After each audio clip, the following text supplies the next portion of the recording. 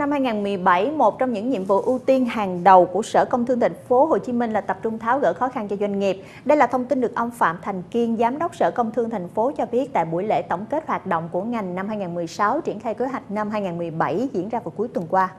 Theo ông Phạm Thành Kiên, năm 2017, thành phố đặt mục tiêu chỉ số phát triển công nghiệp tăng 7% so với năm 2016, trong đó 4 ngành công nghiệp trọng yếu tăng 7,2%. Tổng mức bán lẻ và doanh thu dịch vụ tăng khoảng 8 đến 8,5% so với năm 2016, phấn đấu kiểm soát tốc độ tăng chỉ số giá tiêu dùng thấp hơn mức tăng của cả nước. Kim ngạch xuất khẩu trừ dầu thô tăng 8%, sản lượng điện thương phẩm tăng 8,6%.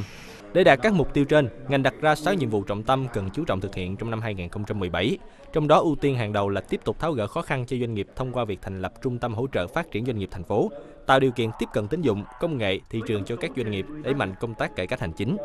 Theo uh, tinh thần cuộc họp của đồng chí Phó Chủ tịch thành phố Trần Tuấn Tuyến hôm qua khi họp ờ, trực tuyến về công tác cải cách hành chính thì có giao chỉ tiêu phấn đấu ít nhất là 10% à, ờ, thủ tục được giải quyết cấp độ 3, cấp độ 4 nhưng uh, ngành công thương sở công thương thành phố thì đã đặt ra có các niềm đặt ra quyết tâm là trong năm 2017 sẽ 100% thủ tục của sở công thương sẽ được thực hiện ở cấp độ 3 và cấp độ 4 đây cũng là một nhiệm vụ trọng tâm mà chúng tôi ờ, sẽ phải tập trung triển khai trong thời gian tới